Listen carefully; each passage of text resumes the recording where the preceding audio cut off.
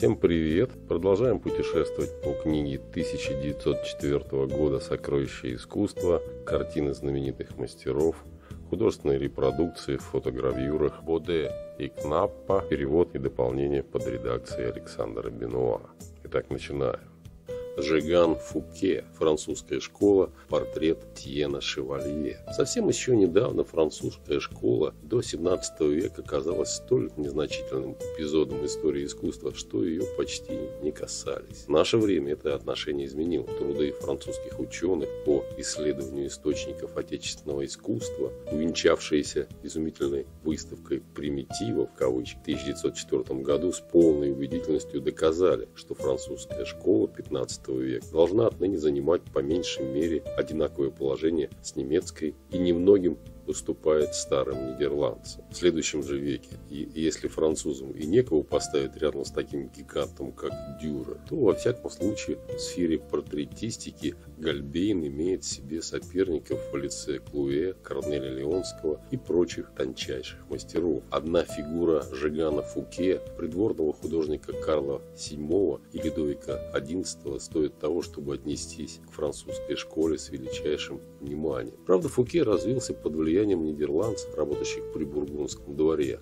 Правда, в нем можно указать и некоторые следы его знакомства с ранним Ренессансом. Фуке посетил Италию в 1443 году. Но Фуке все же остается вполне законченной и обособленной личностью, чем-то характерно французским в своей манере. Национальные черты можно видеть в той уравновешенности, в той любви к упрощению, в тех поисках стиля, в том тонком и нежном понимании природы, которые сказываются как в его портретах, так и в особенности в его гениальных миниатюрах, в которых Фуке, несмотря на крошечный размер, поднимается на такую высоту мистики и достигает такой эпической силы, каких не найти ни у одного художника германских школ и которыми отличается лишь произведение латиниан, кавычек, Фрабиата, Липа, Липпи, Биноци, Гациоли. Во многих отношениях можно указать на связь между сдержанным, умным и поэтичным Фуке и тем мастером, который считается наиболее ярким выразителем французского духа, в кавычках в живописи, Пуссеном. Разумеется, последний всецело подчинен классицизму,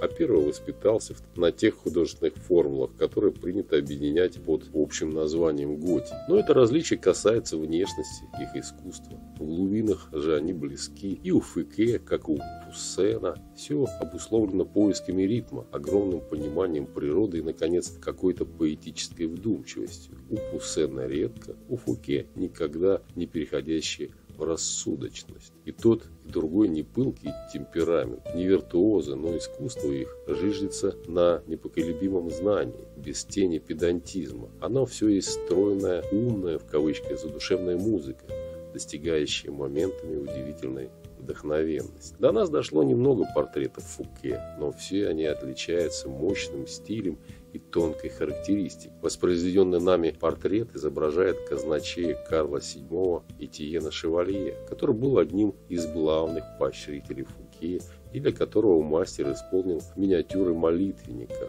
красующийся в музее Шантильи. За жертвователем стоит его святой патрон Стефан. Наш портрет служил вплоть до конца 18 века левой створкой диптиха, правая створка которого Мадонна, окруженная силами небесными, находящаяся в Антверпенском музее, считается портретом метрессы короля и покровительницы шевалье, знаменитой Агнессы Сорейль. В Берлинский музей картина приведена от фамилии Брентана, собственности которого находилась и миниатюры, купленные для Шантильи герцогом Амальским.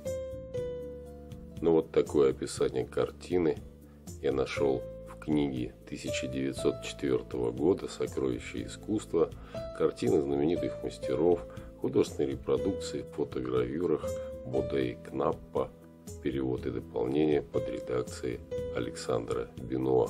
Пока-пока, до свидания.